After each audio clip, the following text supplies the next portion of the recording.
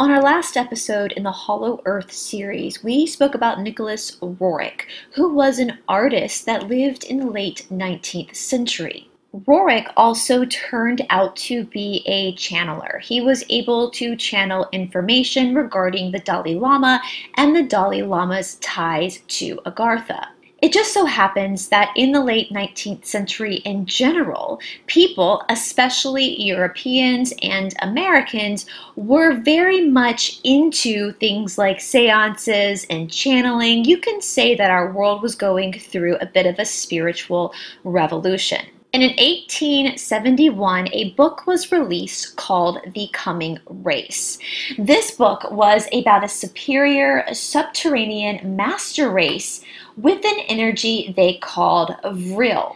The power or life force of Vril could be used to help humanity, to heal humanity, or to destroy it. But before we go any further, you know what to do. Please hit that subscribe button and give us a like. Also, as always, a very, very special thank you to all of our patrons. We have again picked up quite a few more patrons, and I am so grateful to all of you. We are all in this together, and I appreciate each and every one of you. Without you, this channel would not be possible. So, thank you so much much your support goes to help us pay for lights and cameras and equipment to edit. So I truly, truly, truly appreciate you all from the bottom of my heart. Welcome to Esoteric Atlanta. My name is Brice, and today on Mystery Monday, we are going to be talking about the disappearance of Maria Orsic.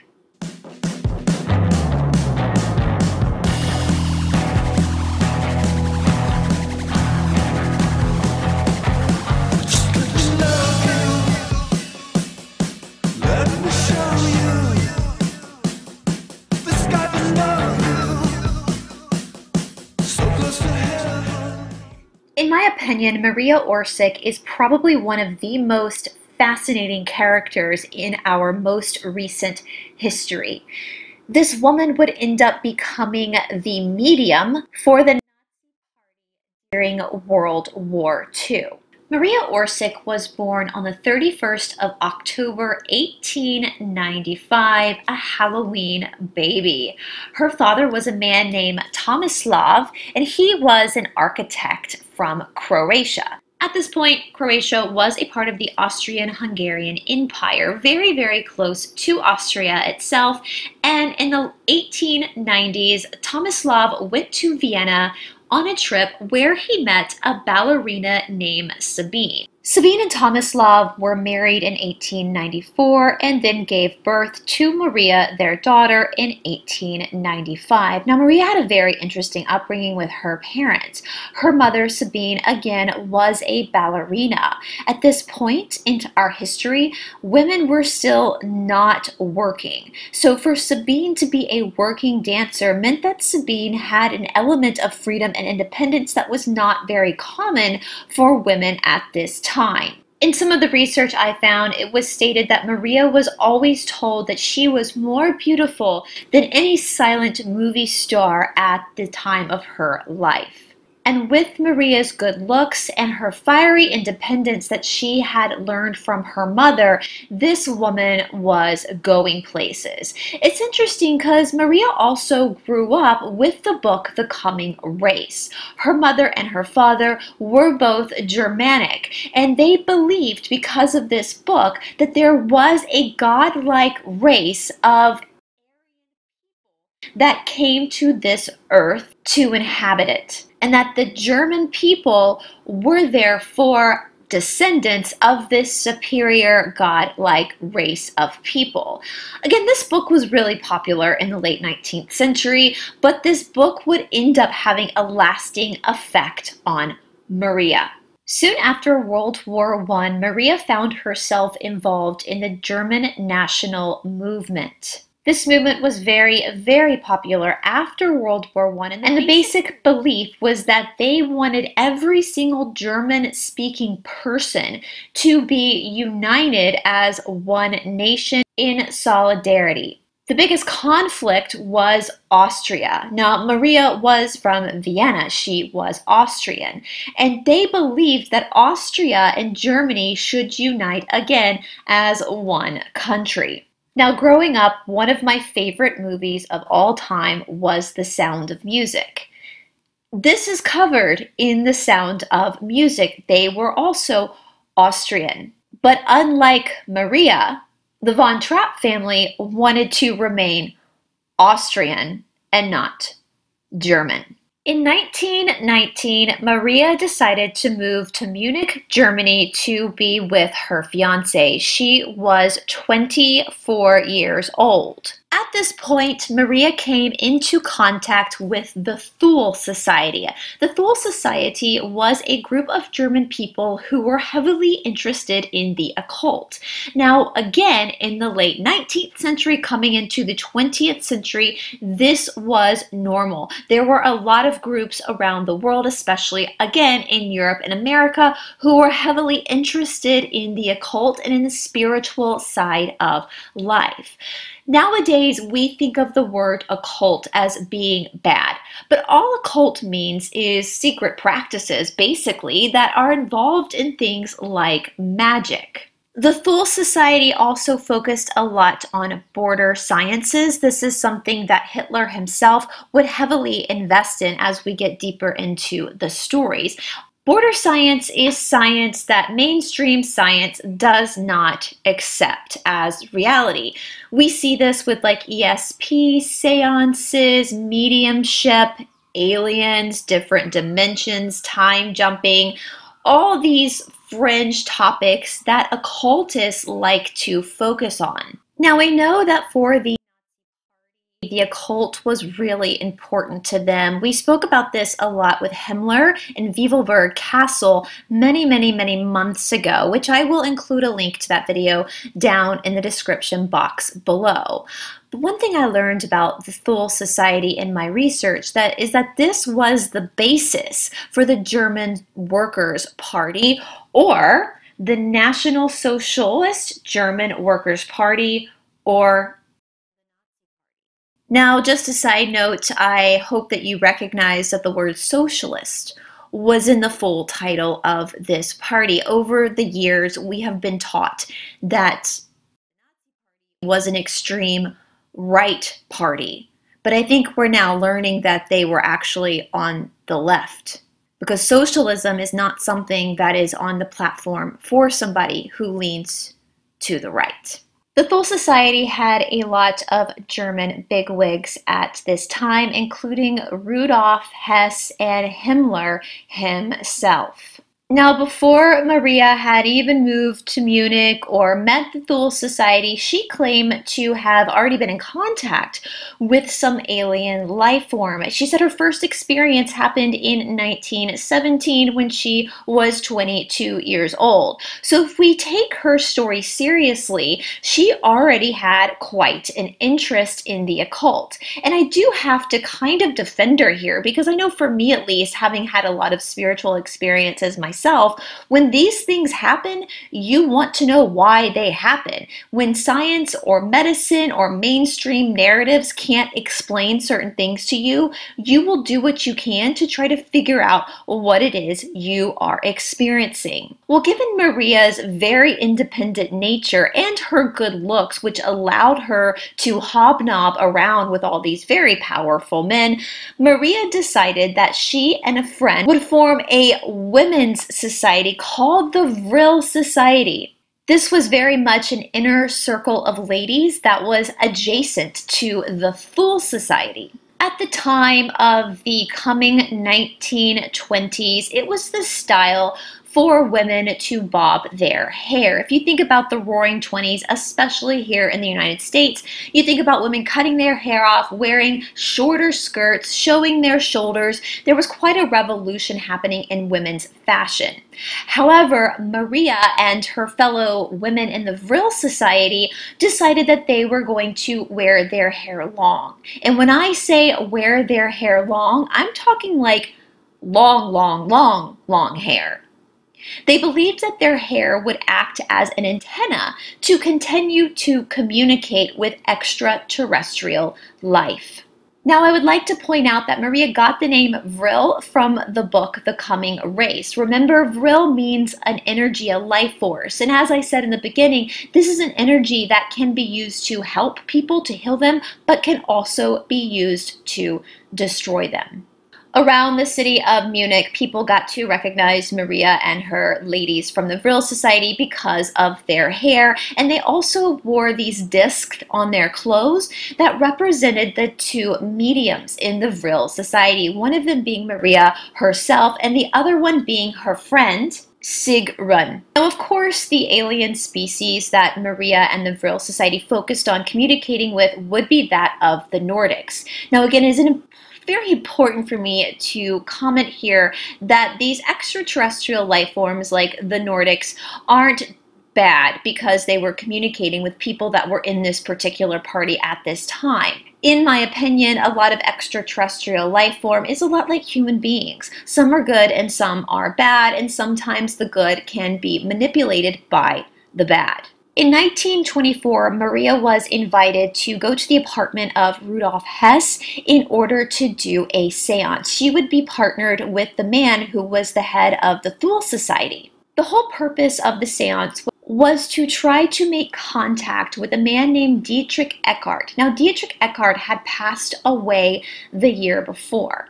As everything got started, Maria sat around the table and her eyes started to flutter back. All you could see was the whites of her eyes, very creepy in my opinion, and Dietrich Eckart's voice came out of her body. But pretty soon, Eckart told the group that he was not going to speak, that he was going to hand the microphone basically over to this alien life force. This alien life force was that of the Sumi that allegedly is from the star constellation of Taurus, which is about 68 million light years away from our own planet. Now, Sumi gave them all a story about how 500 million years ago this alien life force had come to our planet, to the Sumerian area, and they were in fact Nordic beings. Now, to paraphrase what Sumi told these people in this seance is basically what is covered in the coming race. Unfortunately, because of the platform and because Big Brother is watching, I cannot go into too much detail about the conversation that happened during this seance. But it is all out there if you want to read it for yourself. I would definitely recommend going to DuckDuckGo instead of Google because you can find more articles about what actually was discussed during this time regarding this group of extraterrestrials that claim to also be godlike, almost like demigods, and apparently are the ancestors of Germanic people. This Sumi even claimed that the people that lived in Sumeria actually survived Noah's flood and went up into northern Europe, hence why the people of Europe, like myself, look a little bit different from where human the human race is said to originate from. Now, another interesting side note about this seance is that apparently Maria also started to use automatic writing, which is something that people still use in seances and occult work today. And allegedly, she started to draw characters that would have been in the Sumerian language, stuff that she would not have recognized herself. Also, it's very interesting to note that the Sumerian language has the same vibration as the German language. Now, of course, this is all alleged. I don't know how we can even go about trying to prove it correct, but for the sake of the story and what possibly happened to Maria and her role in World War II, I feel like it's very important to recognize this story for what it is. Now, after this seance, over the course of many years, Maria and all these other occultists started to develop a um, flying ship that they believed they could jump dimensions to get to these alien races. As time went on in Germany and things got really bad for a lot of people who were not Nordic, Hitler himself started to crack down on the practices of the occult. Now, this is something that I myself found extremely fascinating. We know that this party had a propaganda unit. We also know that this propaganda is still being used today. Well, in 1941, Hitler decided to pass what is called the Hess Action. This has a lot to do with Rudolf Hess, who we talked about in the seance. Rudolf Hess basically read his astrology and decided he was going to go turn himself over into England to the Allies. There, we could do a whole a whole episode just on the Hess action. But when this happened, Hitler decided that he was going to crack down on occult practices. It wasn't that he didn't like the occult, he just wanted the occult all to himself. He felt like that understanding astrology, being able to read the stars, would give this party a leg up and give them the ability to have world domination. Now, in this propaganda to try to destroy the practice of reading astrology or looking at tarot cards, all this stuff. Hitler made an arrangement with the Catholic Church that the Catholic Church would start to teach that this stuff was a sin. Well, the rest is literally history because nowadays many Christians do believe that reading astrology or looking at tarot cards is a sin, when that's nothing but basically Nazi propaganda. Now, sadly, we do know that the Catholic Church was pretty aligned with Hitler during this time. There are lots of letters that were written back and forth to the Pope. So, before anybody gets in the comment section and starts saying that that's not true, I think you really should do a deep dive into that because there's a mountain of evidence to prove that he was supported by a lot of our religious organizations. But then again, on a positive note, most people on this channel, especially those who are of the Christian faith, do understand that the church and the faith are two totally different things. As someone beautifully wrote in one of my comment sections, there's Christianity and there's churchianity. And churchianity is extremely corrupt. At this time, when Hitler started to really hit occultism hard, the Vril Society decided to register themselves as a legitimate business. At this point, many of the people in the Vril Society and the Thule Society were working with high-ranking people in this particular party anyway, so they were relatively safe. After all, Maria had the nickname, or now has the nickname, as being called the goddess of the devil because she specifically worked with Hitler to try to advance their understanding of aliens. After all, they believed they were descendants of the most powerful aliens, and that's why that they deserved to have this world domination. And I swear to God, this is all legit. I know they don't really teach us this in school. They they teach us that they want to rule domination, but for different reasons. They don't really talk about this like alien occultism as well, but it's a very interesting topic to research, and we will get more into this topic in part five on our Hollow Earth series. On the 22nd of January 1944, Hitler and Himmler specifically started working with Maria and the Vril Society to again perfect a spaceship that would be able to take them to this star constellation that was apparently their ancestors. Now, around this time, it is also noted that that communication between this party and these aliens was getting more and more and more difficult. It is noted that the extraterrestrial beings that they were communicating with started to figure out that their messages for humanity were not being used for humanity, but were instead being used for this party to do what it did to other people on the earth. I, there's certain words, especially a word that starts with a G, Jenna that I can't say because of the platform, but I think you guys know what I'm talking about when we think about the devastation of World War II. So that gives me a lot of hope if there are extraterrestrials out there that there is belief that they stopped communicating because they realized that these human beings on the earth were not using their messages for good. Now, the Vril 7 was the craft that they were working on that was supposed to be able to jump dimensions and be able to travel that 68 million light years to this other star constellation. There again is a lot of information on that about experiments that were done, all that kind of stuff.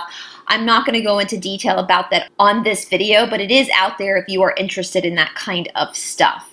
Now, Maria disappeared in 1945, and on the 11th of March 1945, the last communication that she had with people was through a letter. The last words of her letter stated, Nobody is staying here.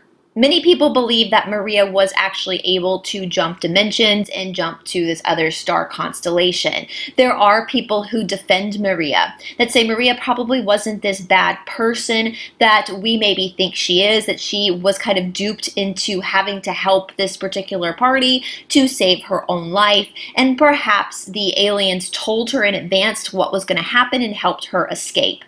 There are other people that believe that Maria might have lost her life during World War II when the Allied forces came in and started bombing different cities. There are also people who believe that Maria might have run off to um, South America, to Argentina, with a lot of the other high ranking officials in this organization. There are also people that believe Maria started living in Antarctica. We know that this party had a lot of stuff going on in Antarctica, which again we will cover in part five of the Hollow Earth.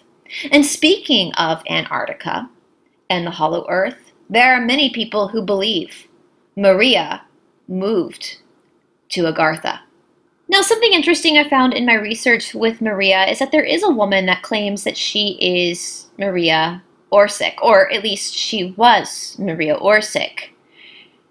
She believes that she has been in touch with all of her past lives, that she has had outer body experiences, and that she can remember every person she has been in the past, with Maria Orsic being her very last life. This is a woman named Valerie Lukyanova. Valerie was born on the 23rd of August, 1985. She is a Ukrainian model who is famous for looking like Barbie. Now, Valerie herself has some very interesting views on race and race theory. I'm just going to leave it at that. Most people will probably recognize her because she did get a lot of fame for looking like, like Barbie. Now, it is interesting that she claims that she was Maria in a past life, but through all of my research, I couldn't find any explanation as to what happened to Maria. So, what do you think happened to Maria Orsic? Do you think that she left this planet, especially since her letter said that nobody is staying here, that they're leaving? Does that mean that she is in Agartha? Was she rescued by other people through Operation Paperclip and given a new life in a new country? To me, her life is extremely fascinating. Her abilities are extremely fascinating. I don't know whether she was the goddess of the devil or just another victim of this party who used her in order to try to dominate the world, and she did what she had to do to save her own skin. I don't know. But I'm super excited about diving deeper into this party and their interest in Agartha, and whether Maria might have ended up there. All right, guys, let me know your thoughts down in the comment section below. Once again, thank you so much to Josh McKay for doing our music, and thank you to Todd Roderick for helping me get this video out to you guys. I hope that you're having a wonderful start of your week, and I will talk to you soon. Bye.